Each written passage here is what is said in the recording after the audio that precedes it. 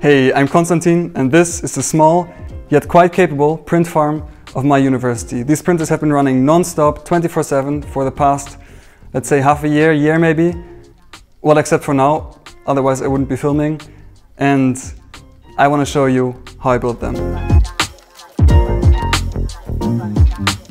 These printers are called HFU bots, named after my university, Hochschule Furtwangen.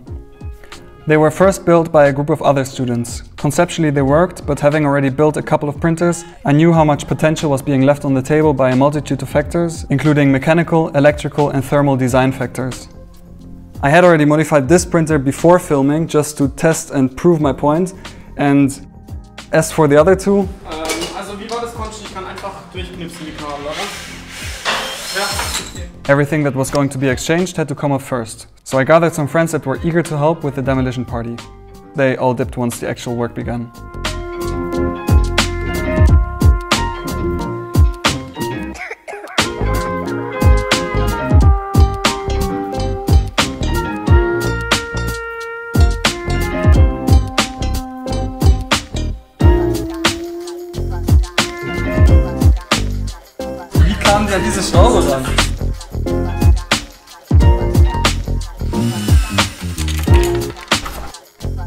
Now I want to make sure to point out that the students who originally built these printers did an excellent job considering their lack of experience and their financial limitations. This is absolutely not meant to be disrespectful in any way as their task was to build three 3D printers on which they definitely delivered. See, everyone with a golden wallet can build a nice printer. I just happen to garner the required amount of trust by, well, lobbying as one does with unscientific claims and false premises, which allowed me to just dump a bunch of money at these in the hopes that at least something would stick. So my peers have told me that it's more efficient to do one printer and then the other one. Um, I'm not sure about that. What's your opinion? Well, Yours. I think uh, whatever makes you feel comfortable, you have to do it because you are the master over it, right? And everyone is I just would going say to follow do- orders, right? I would say we do both at the same time. Okay. I wouldn't say. Yeah, he's just checking whether your opinions match. There, yeah, there, there are two kinds of opinions. good, yeah. The wrong opinion and my opinion. Ah, the print is a bit tight.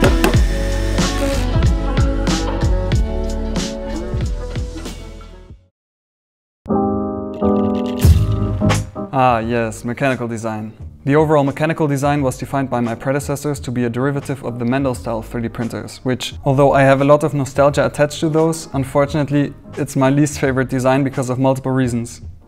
First of all, the overall footprint is just huge because the bed has to move back and forth by its entire length in order for the nozzle to reach all the way across. It's not a big issue here, admittedly, but that doesn't make it any more appealing to me. Secondly, the moving mass of the y-axis is very high and is, compared to other design implementations, completely unnecessary. It also doesn't help that the build plate of these printers is exceptionally large with its size of 400 by 400 millimeters, as the weight is roughly proportional to its side length squared. And this weight estimation doesn't even take into consideration that an increase in weight also means that the underlying structure has to be adapted, which increases the weight even more. And don't worry, this is the last one, but fixing such a flimsy and weight optimized bed to the Y gantry causes mechanical and especially thermal issues, where the bed will thermally expand and contract, but can't because its attachment points have to withstand high acceleration forces. This issue is close impossible to solve mechanically, but I found a workaround using a bunch of data and a bit of mass, which I'll share in a later video.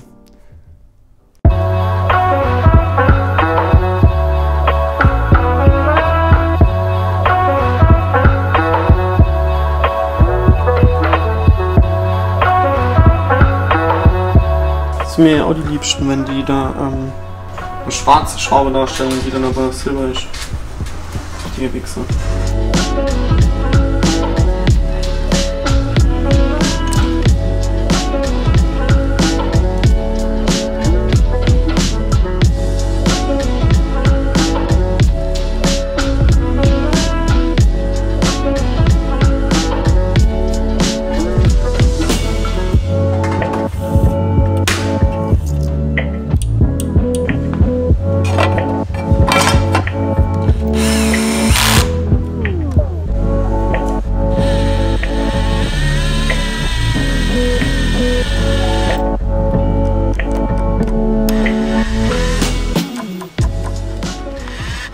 Since I had to work with the mechanical design of my predecessors, I kind of had to make the best out of it, which the best, that's kind of a vague and unspecific term to be thrown around like that, isn't it?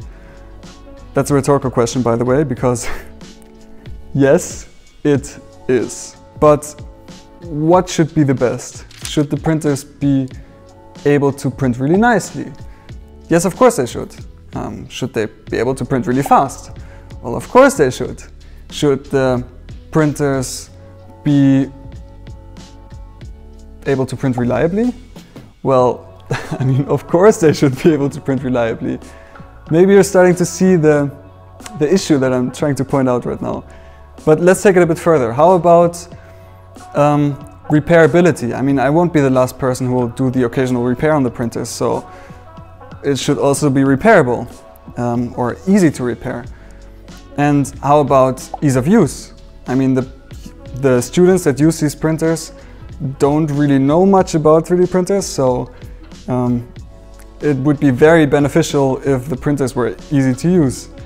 And what about a like on this video? Do you see the problem now? You just can't have it all. But that's also what made designing these printers so exciting for me in the first place. You know, I just don't really care about repairability and ease of use with my own printers. After all, I'm the one who built them, so of course I know how to repair and use them. But with these printers, I had to consciously put my ideals aside and encounter problems that I would have never encountered if I had built them for myself.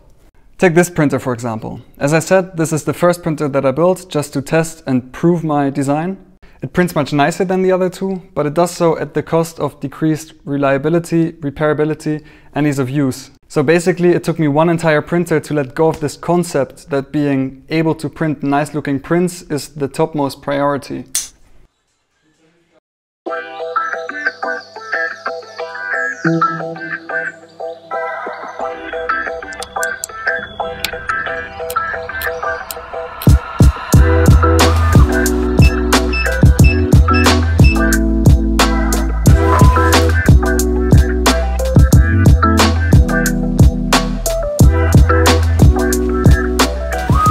But with all that being said, all in all, I'm really happy with the performance of the HFU bots. These are just some prints that I picked out of the lab. As you can see, they're small prints, they're really big prints. Um, they get used a lot. They each already have around 100 days of total print time under the belt, which amounts to around 30 kilograms of PLA per printer. They work reliably, so there weren't any big issues. The print quality is okay. They're easy to use. So yeah, all in all, I'm really happy.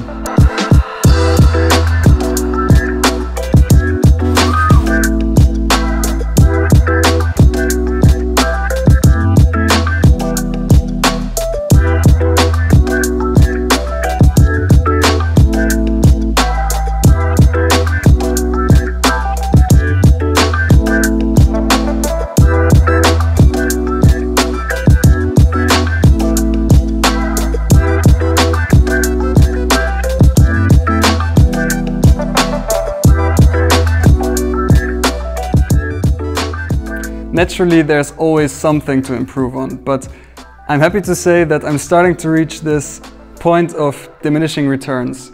There's however one thing I do still want to do and that is to properly calibrate the chopper parameters for the stepper motors. I'm having some issues with vibrations, which you can see on this part, for example.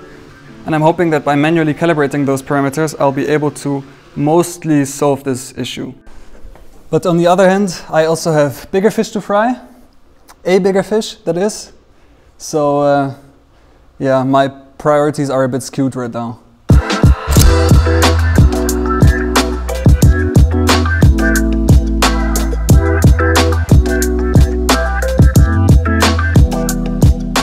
I'm also fully aware that this video probably just created more questions than answers, but you can just ask those questions in the comment section below and maybe I can elaborate on them in a future video.